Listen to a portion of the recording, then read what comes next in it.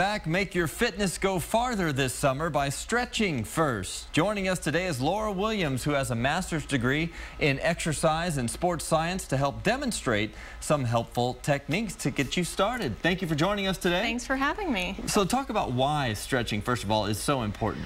Well, it's one of the five components of fitness, flexibility. So it's mm -hmm. really important. Most people, they want to get to the gym, they want to do their cardio, they want to work out. Get and in and out. Exactly. And yeah. they're like, stretching, I don't have time for it, right? Right. So that's bad.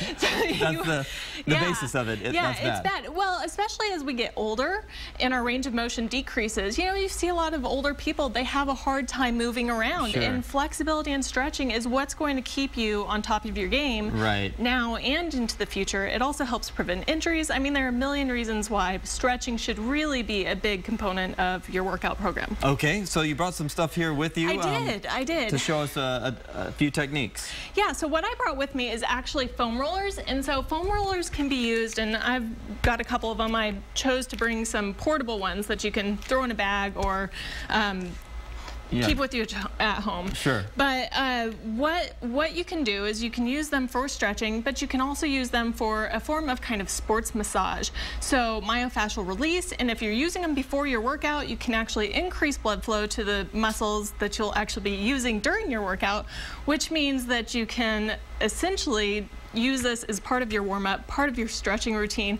and kind of combine everything into one thing. So, so, you're kind of you're kind of breaking up the muscle fibers before. Absolutely. Is this before or after?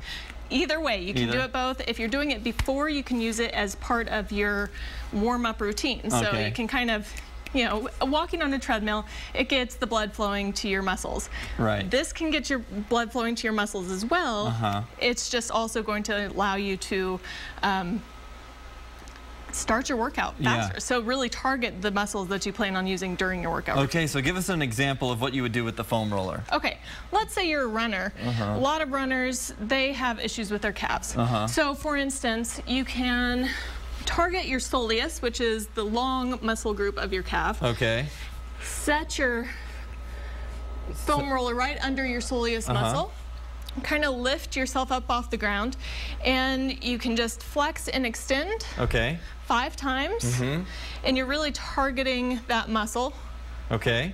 And then after you've flexed and extended you can rotate your foot back and forth. And the idea is to just use your body weight and gravity to kind of apply the pressure. Yes, and work those out. Right, yeah, okay. Yeah. And then if you wanted to use it for stretching, for instance, a lot of people, because we sit all day, mm -hmm. we end up with really tight hip flexors. Right. And so you can actually get down on the ground and extend the um, angle uh -huh. that you're targeting your hip flexor. So if I'm pushing forward to stretch out my hip flexor, I get a greater angle sure. by using the foam roller. Than just on the floor. Absolutely. Wonderful. Yeah. All right. Thank you so much for being with us today. Uh, again, check out your website, girlsgonesporty.com. Yes, absolutely. All right. Thank you, Laura Williams, for being with us today. Thank you for having me.